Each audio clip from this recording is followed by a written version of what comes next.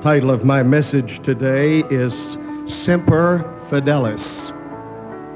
Semper Fidelis. The United States Marine Corps considers itself special.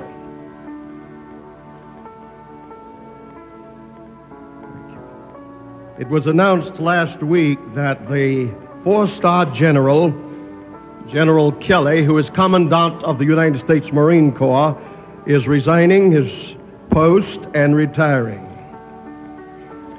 And though it is assiduously denied, folk who watch these things say that recent events have deeply affected this military leader. The Marines. I studied a bit of history concerning the Marines. And the first nation ever to have a unit called Marines was, of course, Greece in 500 BC.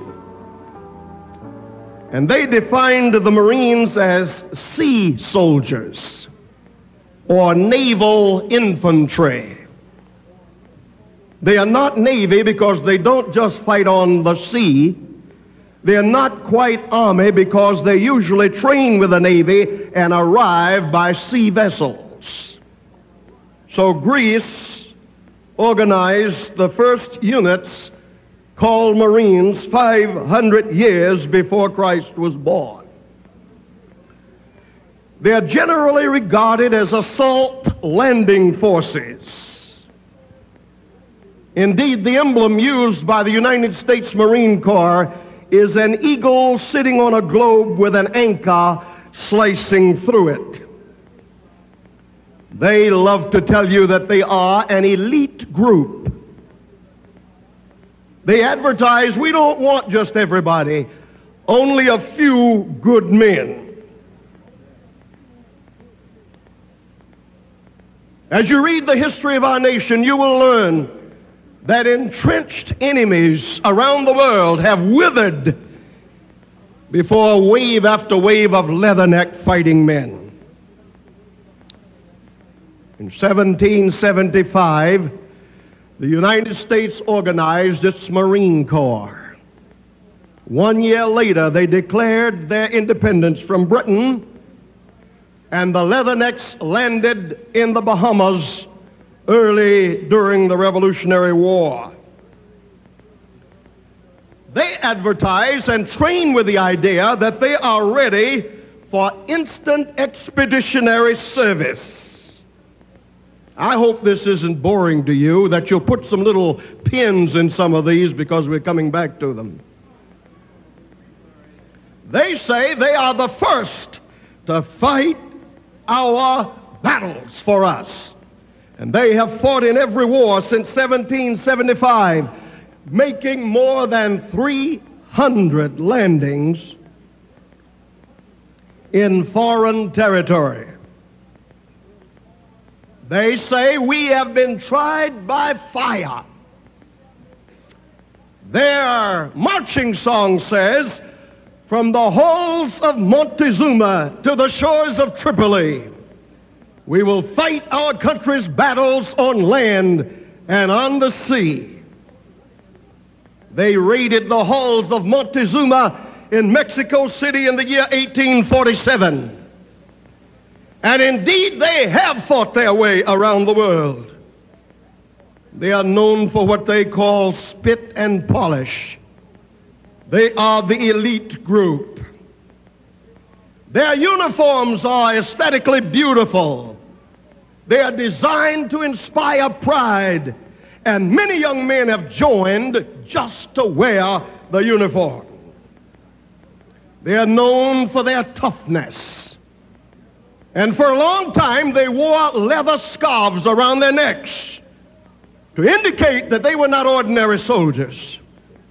And they got the nickname Leatherneck. Their official colors are scarlet and gold. Scarlet to represent blood and sacrifice. We will die for our cause. And gold to represent faith and love and loyalty. They have spilled their blood against overwhelming odds. They were the first to hit the beaches of a thousand islands during World War II. They bored into the steaming, infested jungles where furious enemies were already dug in and yet trembled as they saw the Marines coming. Walter Cronkite said they took many of those places inch by inch. I read something about their attitude. It said that the Marines expect to win. They don't ever expect to lose. No matter how many fall, no matter how large the task, they expect to win. Ladies and gentlemen, one of the most famous photographs ever made was of the flag raising on Mount Suribachi in Iwo Jima. And down near Arlington Cemetery, there is a huge statue of that flag raising, and I have stood there and I have looked at it, and the chill bumps have come on my skin. In 1967, my sister's boy was on the front line in Vietnam, a member of the United States Marines. He'd been brought up in the church, but he gave it up. Now, in a place of danger, his letters to his mother spoke of a longing to get it right with God. And I had a ticket in my pocket to Saigon. The Red Cross was going to bring him in from the front so that I could talk with him about his soul. While I was en route, I was intercepted by a telegram. Three communist bullets had tore into his skull, ripping the top of his head off. And my sister's son's name is on panel 13E, Vietnam Memorial, within the shadow of the Lincoln Memorial. In 1868, they adopted their emblem, and that same year adopted their motto, Semper Fidelis. I want you to say that with me. Semper Fidelis. Say it again now. It means always faithful. Always faithful. John Philip Sousa wrote a hymn for the Marine Corps the title of it is Always Faithful. Because they are the elite corps. From their ranks exclusively, the United States government chose the guards who would look after American embassies and property in the various countries around the world. They said these men will be always faithful. Besides, they were representative of the character and the strength and the determination of America in their red, white, and blue uniforms. And even though they were just human beings with ordinary weaknesses, these men generally prevailed and went beyond their limits. And it could be said of them, they were always faithful. But in recent months and years, tragedy after tragedy has struck. I think of that explosion of bombs in Lebanon. 258 Marines died. And in spite of that, every other Marine in the Corps wanted to go and settle the score, but instead they were ordered to retreat. And this hurt them, for Marines don't retreat. Very recently, of all people, very recently, of all people, United States Marine Guards have been arrested who guarded the Moscow embassy. What happened to them? Did someone put a gun in the face? Did someone put a knife in the back? No! Women did it. Women did it. Women conquered them without a fight, using only their voluptuous charms. These men who could stand anything and declare, We will be always faithful, could not resist the burning call of the flesh. And, ladies and gentlemen, I will tell you that a crisis, a crisis unprecedented in United States history, has been perpetrated by these men. And you with me would wonder, certainly not the Marine Corps, they say we build men. And I will pause to tell you, men folk, now a man is not a man just because he wears pants. A man is a man who can stand up and say no to temptation. A man is a man who can be true to his own wife.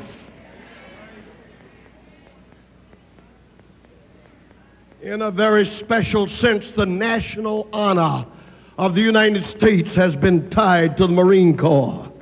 For these men represented and spoke for the United States of America all around the world. And if people in other countries get the impression that our Marines are spineless and without character, they will think of our country as being that way. Now, the interesting thing is, the FBI had warned them carefully. I want you to get this expression now.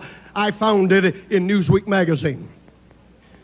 The FBI said to these men who guard our embassies, Be careful, for the KGB, the Secret Service of the Soviet Union, the KGB will use honey traps. What did I say? Want you to remember that. They're not coming with atomic and nuclear weapons. They're coming with honey traps. You got to be careful. Representative Charles Wilson of the House Intelligence Committee said that Russia throws beautiful women at young, lonely Marines. He would like to make an excuse for them, but their motto precludes any excuse. They said, We will be always faithful. Women or no women, we'll be faithful. The CIA is red faced, for they have learned that KGB forces were free to prowl our embassy and photograph at will. These gods had vowed semper fidelis. Now they compromised their own honor and repudiated their own motto. When the Secretary of State went to have talks in Russia, he had to meet in a motorhome.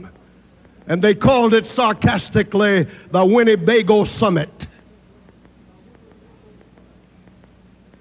A report came back to the American people. In order to re-sanitize our embassy, get rid of all the bugs, it would cost more than 50 millions of dollars in Russia alone. And there are 262 embassies around the world, and most of them are infected. They found out in this inquiry that the one in Vienna is, and the Marine Guard there has been arrested. His problem, a woman.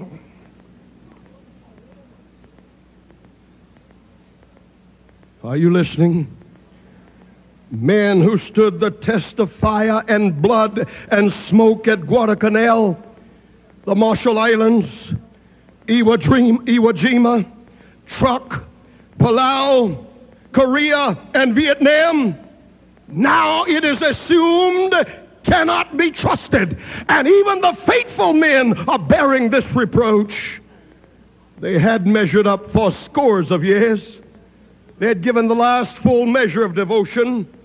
Now, for the most dangerous period possibly in the history of the United States, Marines are being taken easily by women. I say with other Marines, shame, shame. At the Quantico Marine Base in Virginia, Marines are being polygraphed. U.S. News and World Report said old veterans who are now gray haired, some of them with missing legs and arms, are grieving. Did you hear me? There was pride of family and country. They were a unit bound together by a common motto, and these men are grieving now. They are grieving now, for they had always felt that under any circumstances the Marines would be always faithful. One cynical writer has suggested maybe they ought now to adjust the motto. Maybe it ought to read, always faithful until. Maybe it ought to read, always faithful unless. Maybe it ought to read, always faithful as long as it's easy. Men who were unstopped by vermin and snakes and leeches and hailstorms of bombs and napalm. Men who withstood the thunder of howitzers, the laughter of machine guns, and the barking of carbines in these last days are breaking down their strength and resolve dissipated, their motto without meaning. They are not always faithful. This is not a military sermon. There are tragic parallels in Scripture and in prophecy. God had led the Jews out of Egypt with the intention of carrying them straight into the promised land. But because of murmuring and complaining and doubting and blasphemy, they wandered around in a wilderness until that wilderness became a colossal graveyard. And now God is ready to move into the promised land. The Bible says they came at last to a place called Beth Peor. Beth Peor. The word Beth means house of, Peor means gate. God brought them to the house of the opening gate. From where they were, they could look across Jordan and see the promised land. Church, they were almost home. If you're with me, say amen. It seems to me that if nothing else excited them, it should have excited them to look over into the promised land and see the land flowing with milk and honey. They're almost home. What can stop them now? Would you like to know? The Bible says women. And in Patriarchs and Prophets, Ellen White says, what the enemy could not do with their swords, they did with their harlots.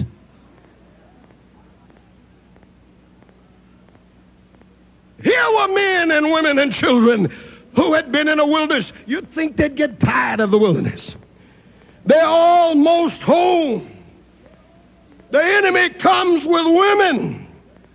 And as a result, a plague came amongst them, and thousands fell because of the wrath of God. They had gotten mixed up with the heathen, with heathen customs, with heathen idols, with heathen ornaments, with heathen garments, with heathen flesh.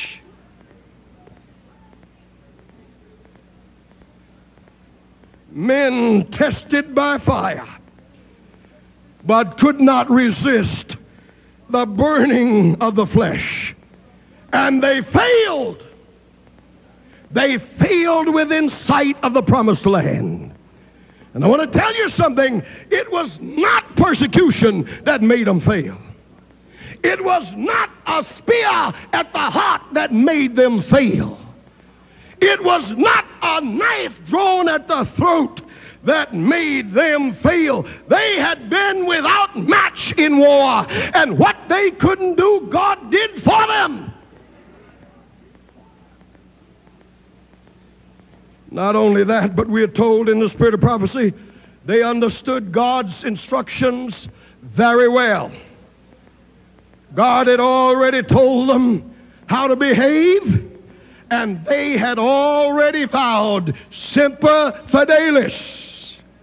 They said, All that the Lord have spoken, we will do. And when they said that, they were saying what the Marines said Always faithful, Lord. I want to pause to tell you right now every time a preacher preaches the straight message and you say amen, you're taking a vow. For that's what amen means. It means I understand you, Lord. I will not argue with you, Lord. I'm willing to obey you, Lord. I will be true, Lord. If you don't mean that, you ought not say amen. Now, these Jews failed and died. They had the Word of God, they had the Spirit of prophecy. Uh, I'm going to say that one more time.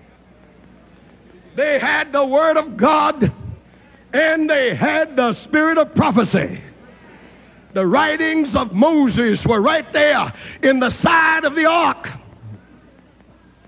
But just like now, there were smart alecks, not amongst the heathen, but in Israel, who were spreading the rumor you couldn't trust the spirit of prophecy anymore.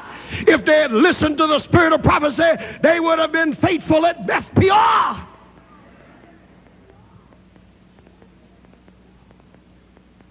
That's history. Now, prophecy.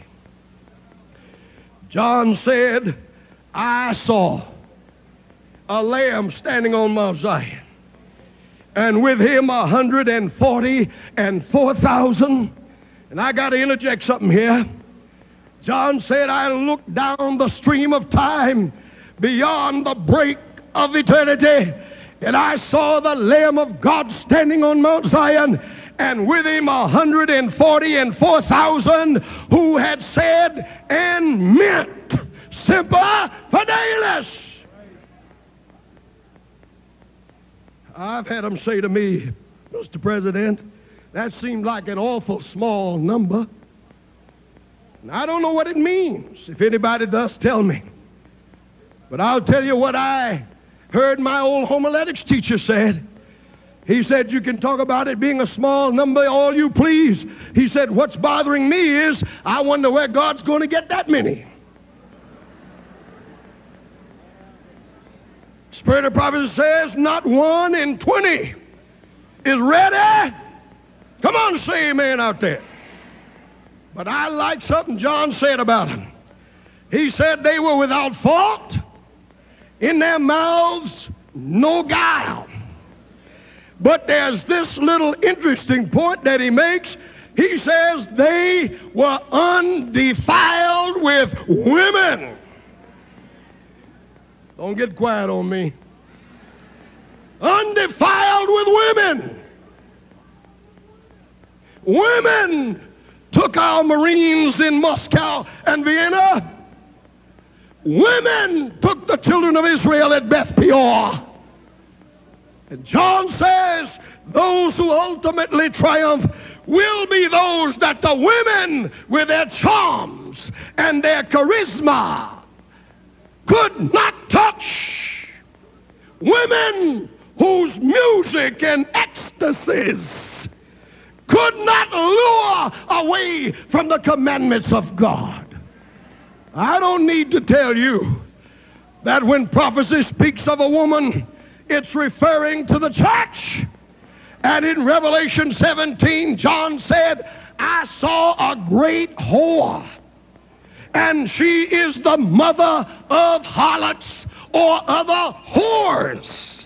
John is talking about spiritual churches that delude and draw away men's minds from loyalty to God and from his commandments. Would you say amen? With their music, with their charismatic sessions and subjective experiences with their ecstasies. I'm going to mention this one again. With their music and its voluptuous beat. Because people feel good.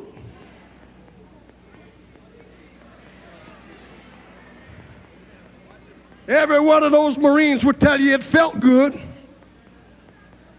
Every Jew at Beth Peor will tell you it felt good but it brought dishonor.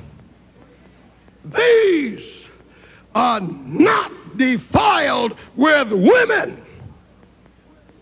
When I was in Brazil, I saw a film made by the church down there called The Final Victory, based on the seven last chapters of the book Great Controversy. The whole film was done in Portuguese. But I didn't need any interpreter, and if you were familiar with those chapters in Great Controversy, you wouldn't have needed an interpreter either. I understood it clearly. But in that portrayal on the screen, I saw friends in the Adventist church turn against friends in the Adventist church. Children turned against their parents and betrayed them. Mothers turned against their children and betrayed them. That film had such impact on me that I stood to watch it five times and couldn't understand a word I heard. But I was dealing with prophecy. There's a question which John wrote as he saw it all culminating. He said, Who shall be able to stand? Who's going to make it? With deception thickening around God's people like a cloud. When it's hard to tell what's right and what's wrong. When wrong sounds good and right is revolting. Who's going to make it? Who shall be able to stand? As I was jotting down my notes, the first thing that came to my mind was a text found in Hebrews 12. It says, looking diligently. God had already said to the church, watch. Watch what? Watch yourself. Watch the word. Watch fulfilling prophecy. Watch. And now St. Paul says, look diligently, lest any man fail of the grace of God. The margin says, lest you fall from God. You got to watch yourself, church. My brothers and sisters, with a compassionate heart, I tell you, you got to watch lest you fall from God. Then it says, lest any root of bitterness springing up trouble you. A root of bitterness. In my yard, I have trouble with dandelions. Dandelions have tap roots. I read about them. A little old dandelion flower can have a root that goes down 24 inches. You can go out there and pull them all you want to. All you do is pinch them off, and that root will send up another one just as soon as you turn your back. It occurred to me that dandelions are hypocrites. You know why I say that? Because they will give you the prettiest little yellow flower you ever saw. And while you are fascinated with the flower, that thing is spoiling your yard and your garden. And as soon as it gets a little dry, and as soon as the first wind blows, it will scatter its seed of trouble and destruction all over the place. Little hypocrites will start to grow. In the choir, in the Sabbath school, on the church board, even the conference committee.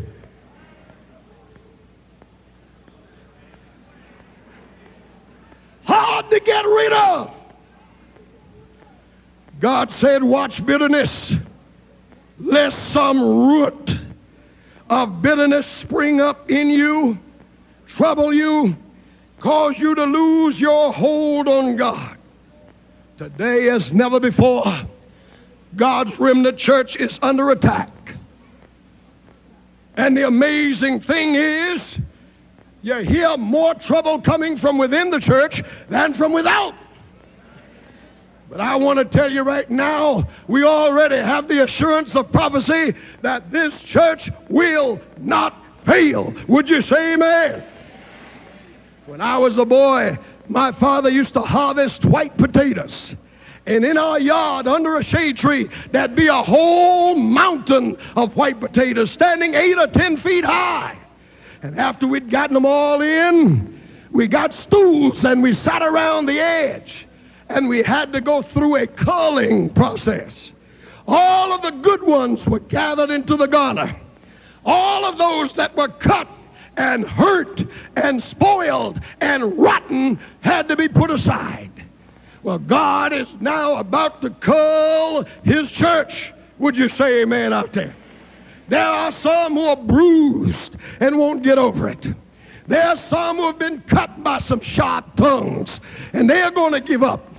And there are some that are plain rotten. They are still in the pile. But God is going to separate them. He's going to call his church. And the thing that we saw in that film is going to take place right here in America. I wonder how many of you have felt hurt when you see the culling going on. I know there are mothers sitting here right now who get hurt when their children back away from the truth.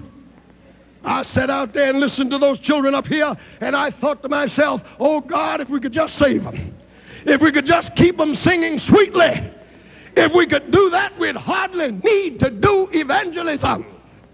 But as soon as they get old enough to start making their own decisions, too many will turn away from Christ and truth and walk in the paths of unrighteousness. And mothers and fathers and pastors and friends are hurt now. Yes, God's let me baptize a lot of people. And I don't know of anything that hurts me worse than to see somebody God let me baptize all painted up and bejeweled and trying to look like a swinger when they look like a dunce. It hurts.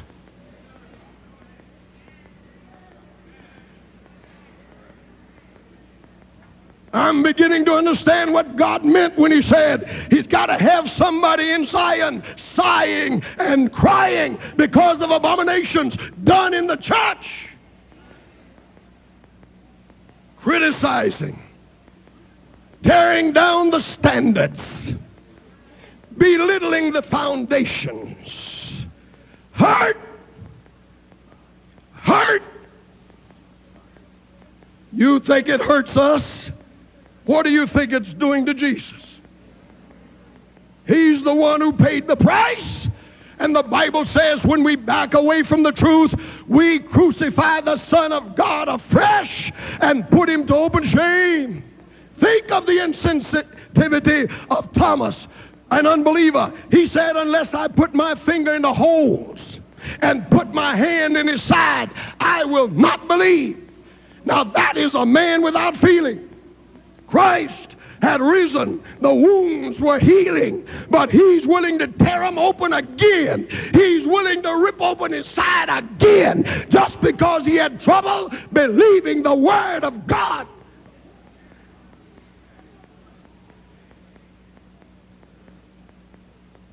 I have a friend from South America.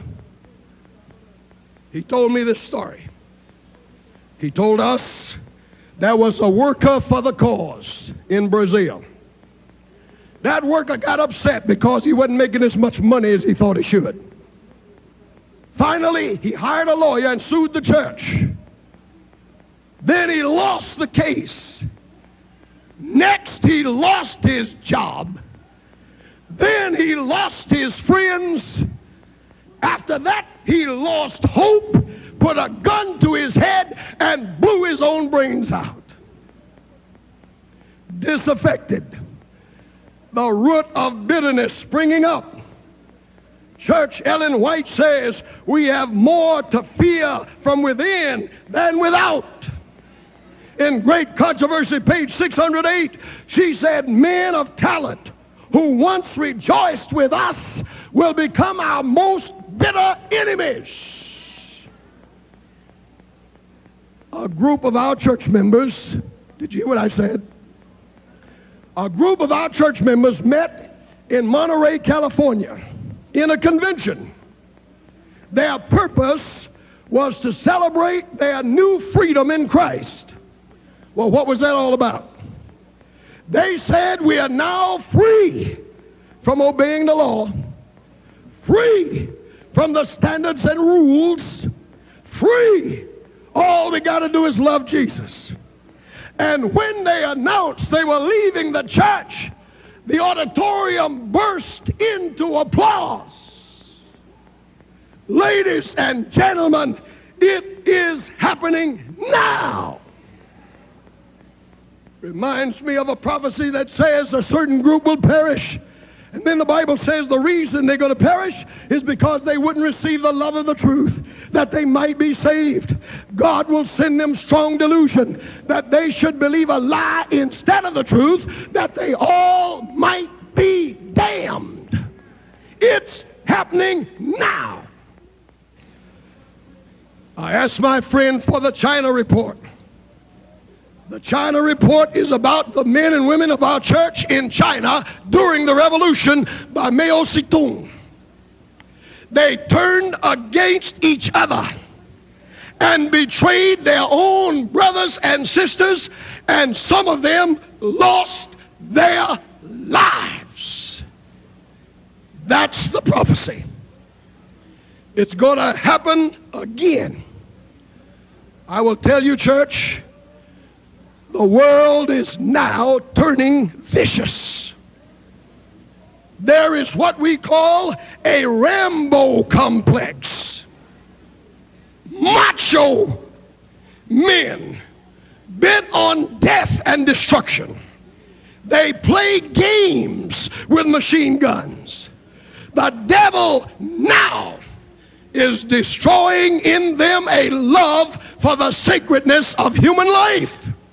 And when the time comes for this country to pass a law that commandment keepers should die, they will be ready to vote. That's where we are. Bible says the world hates you. Some of us are so anxious to be friends with the world, we just suck after the world all the time. Lord says the world hates you. That's the best reason why we ought to love one another. Would you say amen? We got enough folk hating us now without us hating one another. Semper fidelis. It's required that we be faithful. But it takes more than a song. It takes more than a testimony.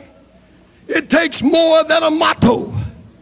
Jesus said of these, they honor me with their lips. Please turn that away from me. They honor me with their lips, draw near to me with their mouths, but their hearts are far away. You might ask, Lord, how faithful do you want me to be? Why, Lord, I'm ready to die for you right now. God answers, I'm not asking you to die, I'm asking you to live for me. But Lord, I want to prove how faithful I am. I'm ready to give my body to be burned. God says before you start burning your body, why don't you pull off your jewels? Why don't you wash that stuff off your face?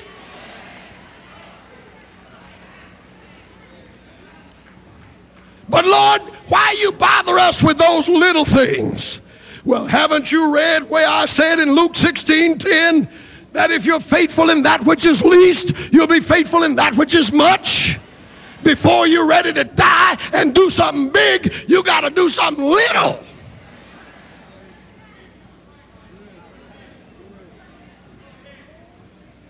Well, Lord, how faithful do you want me to be? Lord says, let me give you an illustration.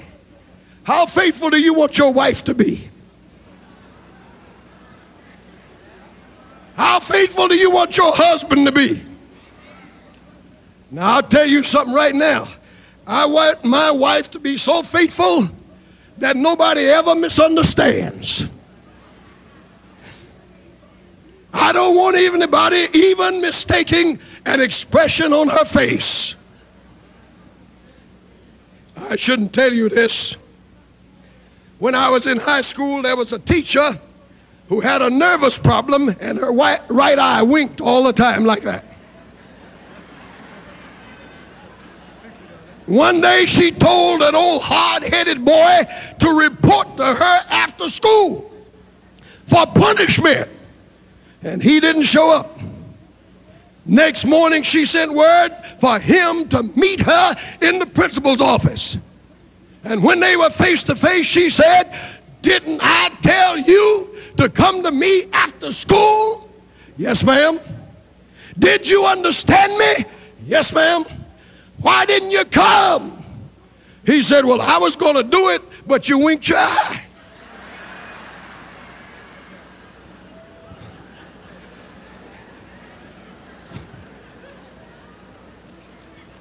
How faithful do you want your husband to be? God said, read Ephesians 5. Husbands, love your wives as your own flesh. Wives, submit yourselves unto your own husbands as unto the Lord. And while this is beautiful and intimate and seems so social, Paul said in verse 31, this is a mystery, but I'm not talking about husband and wife. I'm talking about Christ and the church. Would you say amen? How faithful, Lord as faithful as a good wife to her husband. For I will be as faithful as a bridegroom who loves his wife more than he loves himself. Satan today couldn't ask for more. Satan today must be delighted. He doesn't even have to fight us. He's got us fighting each other. He doesn't have to fight the spirit of prophecy. He's got scholars doing it. Come on, say amen out there. Satan must be amazed at how easy it is. He doesn't even have to waste his firepower. He's got church member criticizing leadership. Church member writing vitriolic letters to the general conference church members accusing the Lord's servant of plagiarism.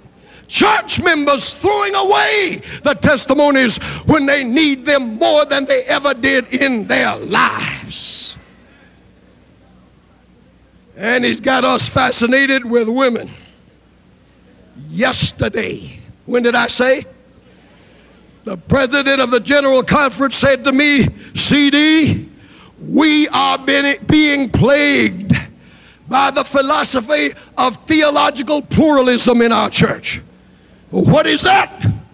That's this notion coming out of high places that all of us can have our own ways to heaven and yet be one in the room of the church. God says that's a lie. One Lord, one faith, one baptism, one way. But Satan stands there with a net he tells his imps, don't shoot yet. Don't send an arrow. Don't pick up the sword. Let's skim off all the easy ones. Let's take all those who don't even put up a fight. Why don't you use your firepower, Satan? If we do that, we'll make some of these hypocrites start praying. And if they start praying, they might get straightened out. Let's don't use that yet. Let's just take the easy ones. I'm amazed at how easy it is. I'm amazed that thousands of people instantly can pull out from the faith and follow an apostate. That amazes me. You know what? Since I've been on television, folk get to know you, recognize you. I could leave the Adventist church tomorrow And in two weeks' time, there'd be a thousand fools joining the C.D. Brooks Reformed Seventh day Adventist Church.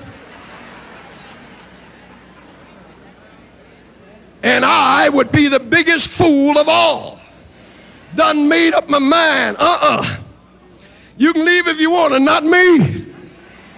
Spit in my face, I'm going to be right here. Talk about me as much as you please. I'm going to talk about you when I get on my knees. I'm not going anywhere. Semper Fidelis.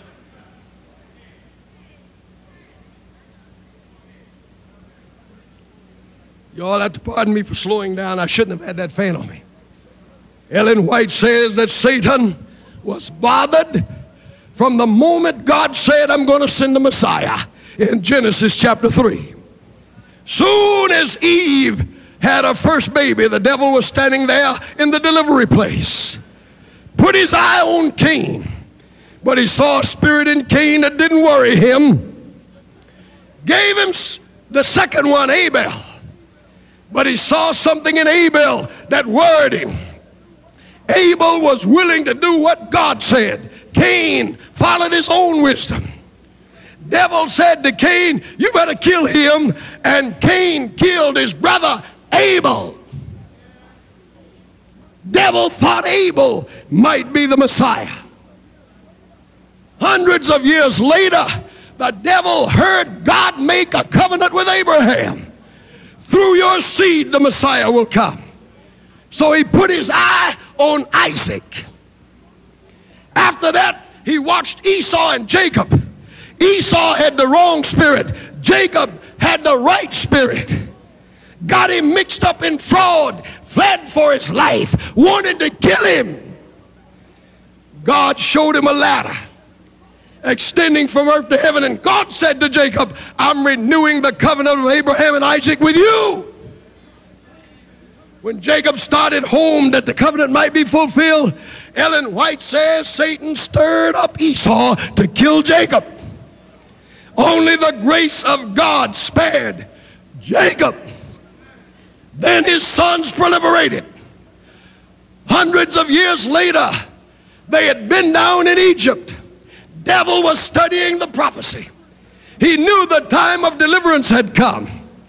When he saw Moses born in the right home, he began to conspire to put Moses to death. He told Pharaoh, kill all the newborn boys. But they put Moses in a, a little basket pitched with tar. And Pharaoh's own daughter saved him and raised him as a prince in Egypt. You can't defeat God when his purposes are set. Would you say amen out there? Down the stream of time came the devil. He heard the annunciation to Mary and he heard the angel tell Anna, Elizabeth that is, that her son would be the forerunner. Tried to destroy John the Baptist. Soon as Jesus was born, he told Herod, kill all the newborn babies. He's trying to cut us off, folk. Trying to destroy the plan of redemption. Ellen White says that plan was laid down too deep to fail. Would you say amen out there? Oh, thank God the devil can't stop it. Laid down too deep. Christ grew up. Devil met him on the Mount of Temptation, but he couldn't take him. Then he had him arrested. He appealed to Christ's flesh through trouble. The whip laid his skin open like a straight edge razor. The nails were pounded through his hands. They covered him with spit. And as if that were not revolting enough, you should have smelled the mess. Trying to discourage Jesus. Even on the cross, he got all of his demons and all of the men cooperating with him. And they hurled their insults at a dying Savior. When Jesus went into the tomb, the devil set a guard to try to keep him in there. But early Sunday morning, angel came down from heaven, Christ had already risen. Angel rolled the stone away. Jesus came out a conqueror. Bible says he is the cornerstone of the church. Ladies and gentlemen, the true church cannot fail because it's built on Jesus Christ. Let me read you something. Ministry of Healing 176. Listen. Through the right exercise of the will, an entire change may be made in the life. By yielding up the will to Christ, we ally ourselves with divine power. A victory over appetite and lust is possible to everyone who will unite his weak, wavering human will to the omnipotent, unwavering will of Christ. I asked a challenging question Who's going to make it? I give you some good news. Everybody here can make it.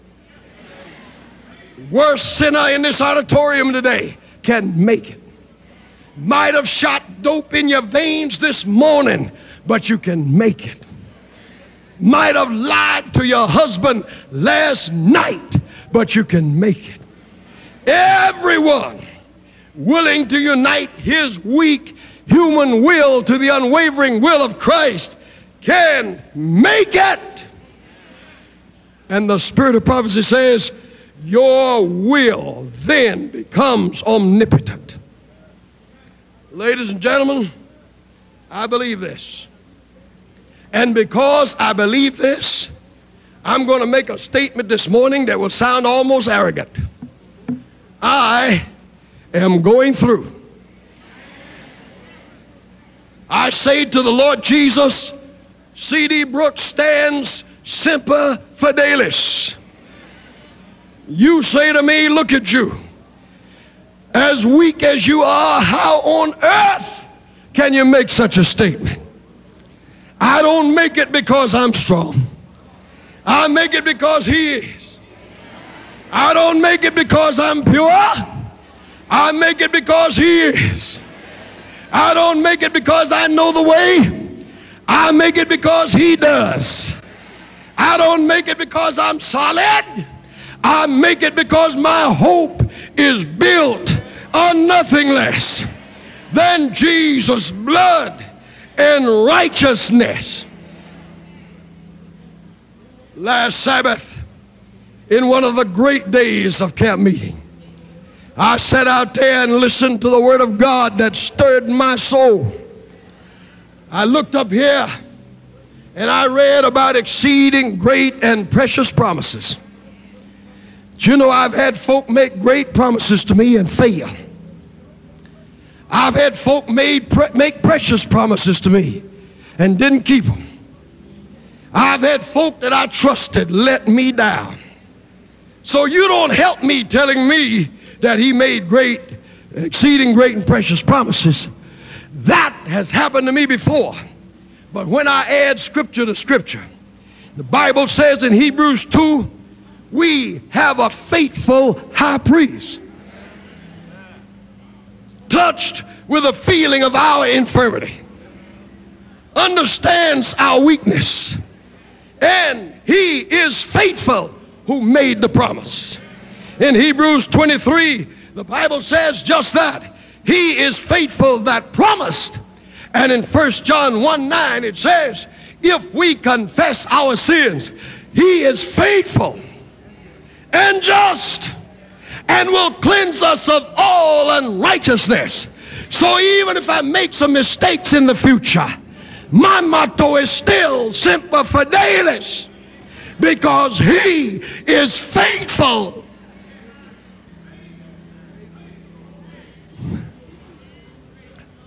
I have no confidence in myself. My confidence is in Him. And I might as well tell you something now. God never promised the way would always be smooth. He didn't promise there would always be sunshine. As a matter of fact, sometimes it's almost discouraging. The world honors apostates and dishonors apostles. Sinner drives a Cadillac. Christian drives a Volkswagen. You know what I mean, don't you? But there's a word in the Bible I want to call your attention to. That word I have learned to love more and more. That word is recompense. What did I say? God says, I'm keeping a record. Every tear you shed is measured in a bottle. Every time your heart is broken, I got a record of it. And one day I'm going to recompense. What does recompense mean? It means I'm going to pay you back. And God keeps good records and He pays back with manifold interest. Would you say amen? If you lose your family because you want to serve God, He said, I'm going to recompense. When I start gathering my people together and I see some folk who came into heaven by themselves, I'm going to set the solitary in families. That's Psalm 68 and verse 6. Some of you will lose your fortunes because you want to obey God. He said, Don't worry about that. When we all get to heaven, I'm going to pave the streets with gold. Gold last week was $4.34 an ounce.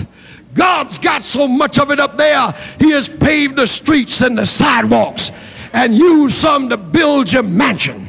Recompense. Would you say amen out there? Some of you will lose your health trying to serve God. Recompense.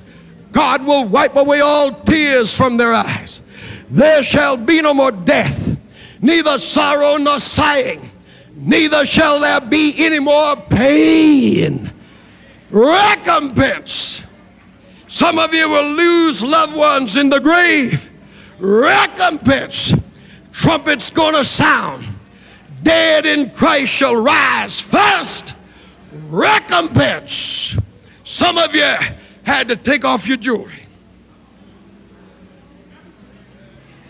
Maybe I was stupid, but I told people to take off these wedding rings. And I know women all across this country, some of whom were beaten by their husbands. Do you hear me? Some of them were beaten by their husbands for pulling those rings off. Walk up and put them in my hand. Pastor Brooks, I want you to keep it. I won't even be tempted to put it back on. White women have sent them to me in the mail. Well, I'm not going to stand up here and tell you what to do. It's a personal thing.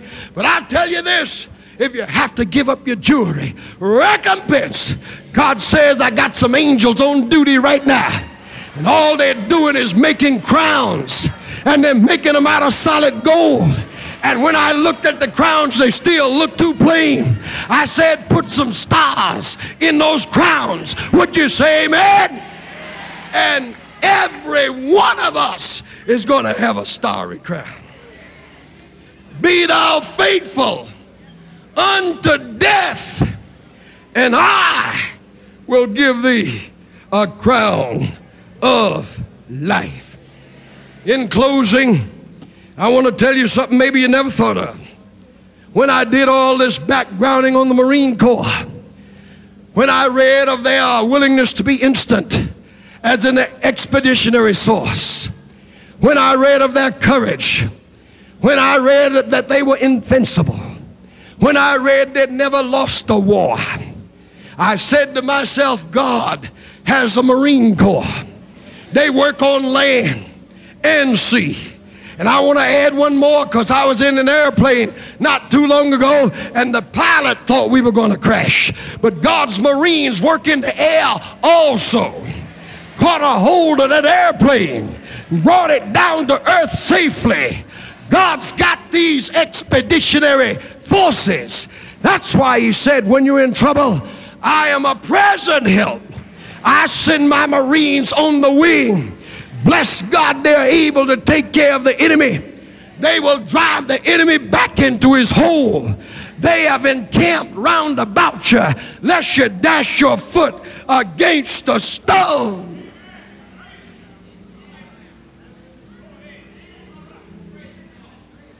Last thing I'm going to read Review and Herald, 1897. All, how many?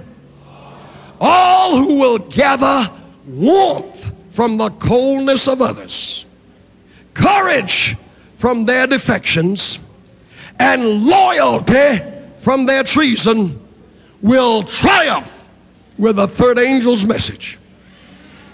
Say amen. amen. Say praise God. All. When other folk are growing cold, it makes me warm because I have read the prophecy. And even they are growing cold is a fulfillment of prophecy. Even they, those who become scoffers are proof that the word of God is the truth. Those who denounce the spirit of prophecy are proof that the spirit of prophecy is true. I gather warmth from their coldness. I gather loyalty from their treason. I am not discouraged. All they're saying to me is, you can count on the remnant church. You can count on the spirit of prophecy. But above all things, you can count on God. Selected Messages, Volume 1, page 128. God calls for a spiritual revival and a spiritual reformation. Unless this takes place, those who are lukewarm will continue to grow more abhorrent to the Lord until He will refuse to acknowledge them as His children. Lukewarm, you're going to get worse until God has to give up. And now the last one. In that same volume, page 121, a revival need be expected only in answer to prayer. Church, you can't walk on water. You can't even overcome sin by yourself. You can't change yourself into what you want to be. You can't give up liquor and drugs and sex. You can't do it. But you can pray until revival comes. I don't mean revival on the church. I don't mean revival on the Sabbath school. I don't mean revival on the conference, brethren. I mean revival on you by yourself in your closet. Don't get up till the power comes. Stay there. Stay there. Jesus is anxious to save everybody at this camp meeting. He doesn't want this crowd cut when we all get to heaven. He wants everybody here saved. And ladies and gentlemen, there's no excuse to go to hell. You can make your vow. 36 years ago, I was going with the most lovely girl I'd ever seen in my life. I don't mean just on the outside, I mean on the inside. 35 years ago, I stood before a minister of the gospel, and many of you, but above all before God, and without hesitation, I said, Lord, Semper Fidelis. 35 years have rolled by. I can look back over 35 years and say, Thank you, Lord. 35 years of Semper Fidelis. Now I've gotten older. Hair turned gray. Nobody wants me now, anyhow. I believe I can make it now. I've been going this way too long to turn back. I'm going through. Ladies and gentlemen, by the grace of God, I'm going through no matter what others do. How about you out there? Bow your head, close your eyes, let God speak to your heart now. Don't you let the devil tell you you're too bad. When we get to heaven and hear the testimonies of the redeemed, Only then will you understand the depths to which Christ went in order to lift lost men and women. He went all the way down to the gutter that he might save from the gutter up. No matter how bad you are today, he's calling for you. You don't have to listen to the devil. Get him off your back now by surrendering to a Savior who will make himself responsible for your salvation. This has been another special American Cassette Ministries presentation featuring C.D. Brooks. International copyright 1987, all rights reserved.